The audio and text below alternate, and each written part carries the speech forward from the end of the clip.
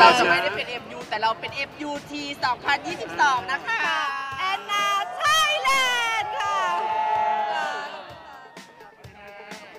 ไม่มีแล้วความเศร้านะคะ ก็เลยแซวพี่ๆแฟนนางงามว่า move on กันได้แล้วนะทุกคน เพราะว่าบนเวทีและการเก็บตัวทำดีที่สุดทุกวันค่ะ ไม่มีอะไรให้ต้องเสียใจเลยตำแหน่งไม่ไม่นานแต่ตำนานตลอดไปนะคะ เรียกว่าเป็นการปิดจบเส้นทางยูนิเว r ร์สของแอนนาเสืองามเอี่ยมอย่างสวยงามค่ะ แม้เธอจะไปไม่ถึงการเข้ารอบ 16 คนสุดท้าย แต่ว่ามีรางวัลพิเศษ แล้วก็ยังมีกระแสไวรัลนะคะ ของชุดราตรีฝากระป๋อง สื่อต่างประเทศให้ความสนใจเยอะมากค่ะไม่ใช่แค่เฉพาะ story ของตัวแอนนา แต่ว่าเธอยังได้สื่อสารเรื่องขยะ และการเห็นคุณค่าของสิ่งที่คนมองข้าม รางวัลพิเศษค่ะ Social Impact Wave Award ที่มอบให้กับนางงามที่เป็นผู้นำเปลี่ยนแปลงสังคม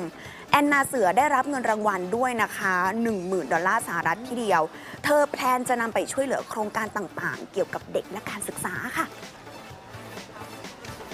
ก็มีหลายโครงการเลยที่นามองไว้นะคะ ไม่ว่าจะเป็น Saturday School ค่ะโครงการเกี่ยวกับการศึกษา หรือว่าเครือข่ายซอโซอาสาที่อนามีโอกาสได้ไปหาน้องๆ ตั้งแต่ก่อนประกวด Miss Universe Thailand เลยก็น้องๆทุกคนก็รอการแบ่งปันนะคะ แล้วก็อยากจะช่วยเหลือทุกๆ โครงการที่เกี่ยวข้องกับการศึกษา แล้วก็ปัญหาสังคมด้วยมันก็มีบ้างว่าแบบเราพลาดตรงไหน แต่แต่สำหรับแอนนาแอนนา คิดว่าที่ผ่านมาแอนนาเต็มที่จริงๆอยากจะส่งพลังไปให้ทุกคนเลยนะคะแอนนาเชื่อว่าทุกคนก็จะมีเส้นทางเป็นของตัวเอง แล้วก็กำลังสู้อยู่ในเรื่องราวของตัวเองค่ะ อยากจะบอกว่าขอเป็นกำลังใจให้ทุกคนเลยแอนนารู้ว่าการสู้เพื่อเส้นทางตัวเองมันเหนื่อยขนาดไหน แต่อย่าบอกว่าอย่ายอมแพ้ค่ะสู้ต่อไป แม้ว่าวันนี้แอนนาจะไม่ประสบความสำเร็จแต่